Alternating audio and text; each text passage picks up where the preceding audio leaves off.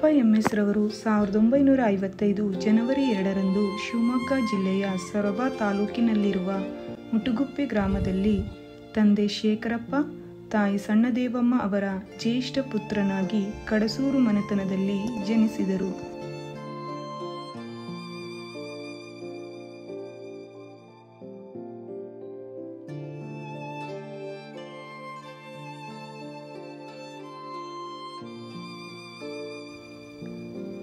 ಪ್ರಾಥಮಿಕ ಶಿಕ್ಷಣವನ್ನು ಮುಟುಗುಪ್ಪೆಯಲ್ಲಿ ಮುಗಿಸಿ ನಂತರ ನಿಸರಾಣಿ ಪ್ರೌಢಶಾಲೆಯಲ್ಲಿ ಸಾವಿರದ ಒಂಬೈನೂರ ಎಪ್ಪತ್ನಾಲ್ಕರಲ್ಲಿ ಸಿ ಪರೀಕ್ಷೆಯಲ್ಲಿ ತೇರ್ಗಡೆಯಾದರು. ನಂತರ ಪದವಿ ಪೂರ್ವ ಶಿಕ್ಷಣವನ್ನು ಸಾವಿರದ ಒಂಬೈನೂರ ಎಪ್ಪತ್ತೇಳರಲ್ಲಿ ಸೊರಬಾದಲ್ಲಿ ಪೂರ್ಣಗೊಳಿಸಿ, ಸಾವಿರದ ಒಂಬೈನೂರ ಎಪ್ಪತ್ತೊಂಬತ್ತರಲ್ಲಿ ತೋಟಗಾರಿಕಾ ತರಬೇತಿಯನ್ನು ಸಿದ್ದಾಪುರದಲ್ಲಿ ಪಡೆದರು. ಸಾವಿರದ ಒಂಬೈನೂರ ಎಂಬತ್ತರಿಂದ ಸಾವಿರದ ಒಂಬೈನೂರ ಎಂಬತ್ಮೂರರವರೆಗೆ ಅರೆಕಾಲಿಕ ಶಿಕ್ಷಕನಾಗಿ ಸೇವೆ ಸಲ್ಲಿಸಿದರು. ಸಾವಿರದ ಒಂಬೈನೂರ ಎಂಬತ್ತೊಂದರಲ್ಲಿ ಬಿ ಎ ಕಲಾ ಪದವಿ ಶಿಕ್ಷಣ ಪಡೆದರು. ಸಾವಿರದ ಒಂಬೈನೂರ ತೊಂಬತ್ತರಲ್ಲಿ ಎಂ ಎ ಇನ್ ಹಿಸ್ಟ್ರಿ ಸ್ನಾತಕೋತ್ತರ ಪದವಿಯನ್ನು ಧಾರವಾಡ ವಿಶ್ವವಿದ್ಯಾಲಯದಲ್ಲಿ ಪಡೆದರು. ಸಾವಿರದ ಒಂಬೈನೂರ ತೊಂಬತ್ತೊಂದರಲ್ಲಿ ಬಿ ಎಡ್ ಶಿಕ್ಷಣವನ್ನು ಮೈಸೂರು ವಿಶ್ವವಿದ್ಯಾಲಯದಲ್ಲಿ ಪಡೆದರು. ಸಾವಿರದ ಒಂಬೈನೂರ ಎಂಬತ್ತ್ಮೂರರಲ್ಲಿ ಕಲ್ಲೇಶ್ವರ ವಿದ್ಯಾವರ್ಧಕ ಸಂಘ ಶಿಗ್ಗಾ ಇಂಡವಳ್ಳಿ ಸೊರಬ ತಾಲೂಕ್ ಶಿವಮೊಗ್ಗ ಜಿಲ್ಲೆ ಇವರ ಆಶ್ರಯದಲ್ಲಿ ನಡೆಯುತ್ತಿರುವ ಅನುದಾನಿತ ಮಲೆನಾಡು ಪ್ರೌಢಶಾಲೆ ಗೌತಮಪುರದಲ್ಲಿ ವೃತ್ತಿ ಶಿಕ್ಷಕನಾಗಿ ತಮ್ಮ ಸೇವೆಯನ್ನು ಪ್ರಾರಂಭಿಸಿದರು. ದಿನಾಂಕ ಒಂದು ಆರು ಸಾವಿರದ ಒಂಬೈನೂರ ಎಂಬತ್ತ್ಮೂರರಂದು ಸೇವೆಗೆ ವರದಿ ಮಾಡಿಕೊಂಡ ದೃಶ್ಯ. ಮುಖ್ಯೋಪಾಧ್ಯಾಯರ ಸಹ ಶಿಕ್ಷಕರ ಮತ್ತು ಶಾಲಾ ಸಿಬ್ಬಂದಿಗಳ ಸಹಕಾರದಿಂದ ವಿದ್ಯಾರ್ಥಿಗಳೊಂದಿಗೆ ನಿರ್ಮಿಸಿದ ಶಾಲಾ ಕೈತೋಟದಲ್ಲಿ ವೀಕ್ಷಣೆ. ತರಗತಿಯ ಉಪಾಧ್ಯಾಯನಾಗಿ ಸೇವೆ ಸಲ್ಲಿಸಿ ಎಸ್ಎಸ್ಎಲ್ಸಿಯಲ್ಲಿ ಶೇಕಡ ಎಂಬತ್ತರಷ್ಟು ಫಲಿತಾಂಶ ನೀಡಿದ ವಿದ್ಯಾರ್ಥಿಗಳೊಂದಿಗೆ. ಮುಖ್ಯೋಪಾಧ್ಯಾಯರಾದ ಶ್ರೀ ಎಚ್ ಬಿ ಈಶ್ವರಪ್ಪ ಮತ್ತು ಸಹ ಶಿಕ್ಷಕರು ಹಾಗೂ ಸಿಬ್ಬಂದಿಗಳೊಂದಿಗೆ.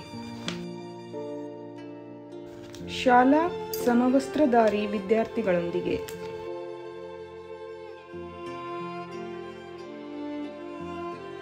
ಶಾಲಾ ಕೈತೋಟದಲ್ಲಿ ವಿದ್ಯಾರ್ಥಿಗಳೊಂದಿಗೆ.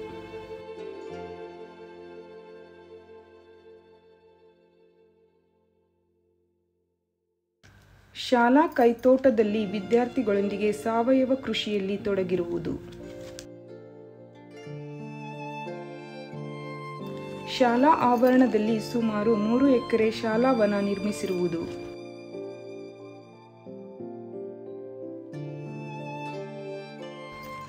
ಶಾಲಾ ಆವರಣದಲ್ಲಿ ಪ್ಲಾಸ್ಟಿಕ್ ಮುಕ್ತ ಶಾಲಾ ಪರಿಸರದಲ್ಲಿ ವಿದ್ಯಾರ್ಥಿಗಳು. ಶಾಲಾ ವಿದ್ಯಾರ್ಥಿ ಸಂಘದ ವಾರ್ಷಿಕೋತ್ಸವ ಕಾರ್ಯಕ್ರಮದಲ್ಲಿ ತಾಲೂಕು ಶಾಸಕರು, ಗ್ರಾಮ ಪಂಚಾಯಿತಿ ಅಧ್ಯಕ್ಷರು ಮತ್ತು ಕ್ಷೇತ್ರ ಶಿಕ್ಷಣಾಧಿಕಾರಿಗಳು ವಿದ್ಯಾರ್ಥಿಗಳಿಗೆ ಸೈಕಲ್ ವಿತರಣೆ ಕಾರ್ಯಕ್ರಮದಲ್ಲಿ ಸ್ಕೌಟ್ ವಿದ್ಯಾರ್ಥಿಗಳೊಂದಿಗೆ. ಶಾಲಾ ರಾಷ್ಟ್ರೀಯ ಹಬ್ಬದಲ್ಲಿ ಶಾಲಾ ಮಕ್ಕಳೊಂದಿಗೆ ಊರಿನ ಬೀದಿಯಲ್ಲಿ ಮೆರವಣಿಗೆ.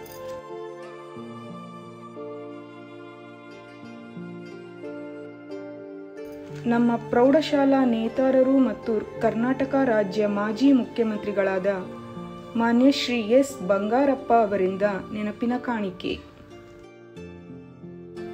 ವಿಧಾನ ಪರಿಷತ್ ಅಂದಿನ ಸದಸ್ಯರು, ಇಂದಿನ ಅಧ್ಯಕ್ಷರಾದ ಮಾನ್ಯ ಶ್ರೀ ಡಿ. ಎಚ್. ಶಂಕರಮೂರ್ತಿ ಅವರಿಂದ ಪ್ರತಿಭಾ ಪುರಸ್ಕಾರ. ಜಿಲ್ಲಾ ಪಂಚಾಯಿತಿ ಮಾಜಿ ಅಧ್ಯಕ್ಷರಾದ ಚಂದ್ರಕುಮಾರ್ ಕೊಲ್ಲಾಬೋವಿ ಇವರಿಂದ ವಿದ್ಯಾರ್ಥಿಗಳಿಂದ ಸಾಕ್ಷರತಾ ಸಂಪನ್ಮೂಲ ಶಿಕ್ಷಕ ಪ್ರಶಸ್ತಿ ಸ್ವೀಕಾರ. ಗೌತಮಪುರ ಗ್ರಾಮ ಪಂಚಾಯಿತಿ ಮಾಜಿ ಅಧ್ಯಕ್ಷರಾದ ರೇವಪ್ಪನವರಿಂದ ಸ್ಕೌಟ್ ಸಮವಸ್ತ್ರದ ಅನುದಾನ ಪಡೆದು ವಿದ್ಯಾರ್ಥಿಗಳ ಪರವಾಗಿ ಅಭಿನಂದನೆ ಸಲ್ಲಿಸುವುದು. ಶಿವಮೊಗ್ಗ ಜಿಲ್ಲಾ ವೃತ್ತಿ ಶಿಕ್ಷಕರ ಸಂಘದಲ್ಲಿ ಬಹು ವರ್ಷಗಳಿಂದ ಉಪಾಧ್ಯಕ್ಷರಾಗಿ ಎಸ್ಯುಪಿಡಬ್ಲ್ಯೂ ಕಾರ್ಯಾಗಾರದಲ್ಲಿ ಭಾಗವಹಿಸಿದ್ದು. ವೃತ್ತಿ ಶಿಕ್ಷಕರಾಗಿದ್ದ ಆರ್ಎಂಎಸ್ ಎರಡು ಸಾವಿರದ ಆರರಲ್ಲಿ ಸ್ಕೌಟ್ ಮಾಸ್ಟರ್ ತರಬೇತಿ ಪಡೆದು ಸ್ಕೌಟ್ ಶಿಕ್ಷಕರಾಗಿದ್ದು. ಮಲೆನಾಡು ಸ್ಕೌಟ್ ದಳದ ಉದ್ಘಾಟನಾ ಧ್ವಜಾರೋಹಣ. ಸ್ಕೌಟ್ ಮಕ್ಕಳೊಂದಿಗೆ ಕೊಂಡಜ್ಜಿ ಮತ್ತು ಶಿವಮೊಗ್ಗ ನಗರಗಳಲ್ಲಿ ಕ್ಯಾಂಪ್ ಮಾಡಿರುವುದು. ರಾಜ್ಯ ವಿಶ್ವ ಸ್ಕೌಟ್ ಶತಮಾನೋತ್ಸವದ ಕಾರ್ಯಕ್ರಮದಲ್ಲಿ ವಿದ್ಯಾರ್ಥಿಗಳೊಂದಿಗೆ ವಿಧಾನಸೌಧದಲ್ಲಿ. ರಾಜ್ಯಪಾಲ ಸ್ಕೌಟ್ ಪುರಸ್ಕಾರ ಪಡೆಯಲು ಬೆಂಗಳೂರು ಸ್ಕೌಟ್ ಭವನದಲ್ಲಿ ವಿದ್ಯಾರ್ಥಿಗಳೊಂದಿಗೆ. ಕ್ರಿಸ್ತಶಕ ಎರಡ್ ಸಾವಿರದ ಎಂಟರಲ್ಲಿ ಸ್ಕೌಟ್ ವಿಭಾಗದ ಹಿಮಾಲಯ ವೃಕ್ಷಮಣಿ ತರಬೇತಿ ಹೊಂದಿರುವುದು.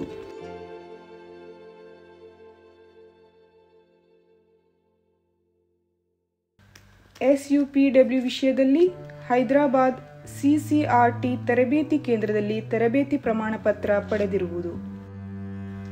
ಪರಿಸರ ಅಧ್ಯಯನ ಕೇಂದ್ರ ಸಂತೇಕಡೂರು ಶಿವಮೊಗ್ಗ ನಗರದಲ್ಲಿ ವಿದ್ಯಾರ್ಥಿಗಳೊಂದಿಗೆ ಕ್ಯಾಂಪ್ ಮಾಡಿ ಶಿಬಿರಾಗ್ನಿ ನಡೆಸಿರುವುದು. ಶಿವಮೊಗ್ಗದಲ್ಲಿ ನಡೆದ ಎಪ್ಪತ್ಮೂರನೇ ಅಖಿಲ ಭಾರತ ಕನ್ನಡ ಸಾಹಿತ್ಯ ಸಮ್ಮೇಳನದಲ್ಲಿ ಸ್ವಯಂ ಸೇವಕನಾಗಿ ಕರ್ನಾಟಕ ರಾಜ್ಯ ಸ್ಕೌಟ್ ತರಬೇತಿ ಆಯುಕ್ತರೊಂದಿಗೆ ಪ್ರವಾಸ. ರಾಜ್ಯ ಸ್ಕೌಟ್ ತರಬೇತಿ ಆಯುಕ್ತರಿಂದ ಹಿಮಾಲಯ ವೃಕ್ಷಮಣಿ ಸ್ವೀಕಾರ ಮತ್ತು ಪ್ರತಿಜ್ಞೆ.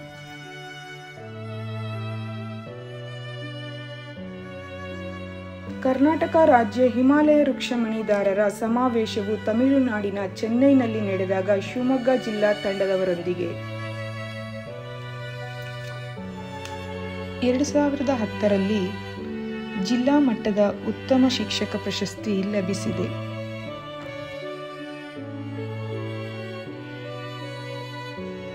ಎರಡು ಸಾವಿರದ ಹದಿನಾಲ್ಕರಲ್ಲಿ ವೃತ್ತಿ ಶಿಕ್ಷಕ ಹುದ್ದೆಯಿಂದ ಸಹ ಶಿಕ್ಷಕರ ಹುದ್ದೆಗೆ ಮುಂಬಡ್ತಿ. ಎರಡು ಸಾವಿರದ ಹದಿನೈದರಲ್ಲಿ ಭಾರತ್ ಸ್ಕೌಟ್ ಮತ್ತು ಗೈಡ್ಸ್ ಕರ್ನಾಟಕ ಹಾಗೂ ವಾಜುಬಾಯಿ ರೂಢಾಬಾಯಿ ವಾಲಾ ಗಣಿತವೆತ್ತ ರಾಜ್ಯಪಾಲರು ಅಭಿನಂದನಾ ಪತ್ರ ನೀಡಿ ಗೌರವಿಸಿದರು. ಎರಡು ಸಾವಿರದ ಹದಿನೈದು ಜನವರಿ ಮೂವತ್ತೊಂದರಂದು ಮಲೆನಾಡು ಪ್ರೌಢಶಾಲೆಯಿಂದ ಶಿಕ್ಷಕ ವೃತ್ತಿಗೆ ನಿವೃತ್ತಿ ಹೊಂದಿ ತಮ್ಮ ಸ್ಕೌಟ್ ಸೇವೆಯನ್ನು ಎರಡು ಸಾವಿರದ ಹದಿನಾರರಲ್ಲಿ ಎಡಿಸಿಯಾಗಿ Bharat scout and guide Shivamogga ಜಿಲ್ಲೆಯಲ್ಲಿ ಸೇವೆಯನ್ನು ಮುಂದುವರಿಸಿ ಅನೇಕ ಶಿಕ್ಷಕರಿಗೆ ಮತ್ತು ವಿದ್ಯಾರ್ಥಿಗಳಿಗೆ ಮಾರ್ಗದರ್ಶಕರಾಗಿದ್ದಾರೆ.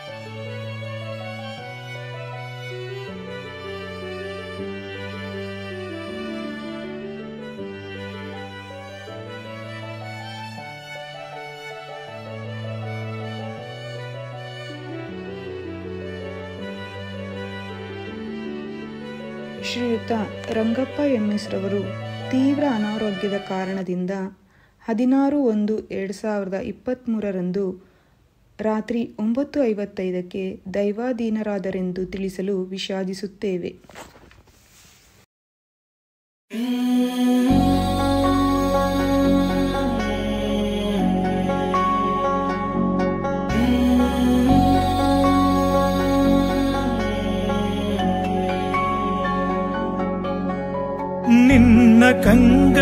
ಬಿಸಿಯ ಹನಿಗಳು ನೂರು ಕಥೆಯ ಹೇಳಿವೆ. ನಿನ್ನ ಪ್ರೇಮದ ನುಡಿಯ ಕೇಳಿ ನೂರು ನೆನಪು ಮೂಡಿವೆ. ನಿನ್ನ ಕಂಗಳ ಬಿಸಿಯ ಹನಿಗಳು ನೂರು ಕಥೆಯ ಹೇಳಿವೆ. ನಿನ್ನ ಪ್ರೇಮದ ನುಡಿಯ ಕೇಳಿ ನೂರು ನೆನಪು ಮೂಡಿವೆ. ತಂದೆಯಾಗಿ ತಾಯಿಯಾಗಿ ಮಮತೆಯಿಂದ ಬೆಳೆಸಿದೆ. ಬಿಸಿಲು ಮಳೆಗೆ ನರಳದಂತೆ ನಿನ್ನ ನೆರಳಲಿ ಸಲಹಿದೆ. ಆ ಪ್ರೀತಿಯ ಮನ ಮರೆವುದೇ.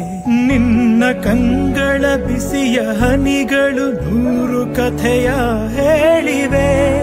ನಿನ್ನ ಪ್ರೇಮದ ನುಡಿಯ ಕೇಳಿ ನೂರು ನೆನಪು ಮೂಡಿವೆ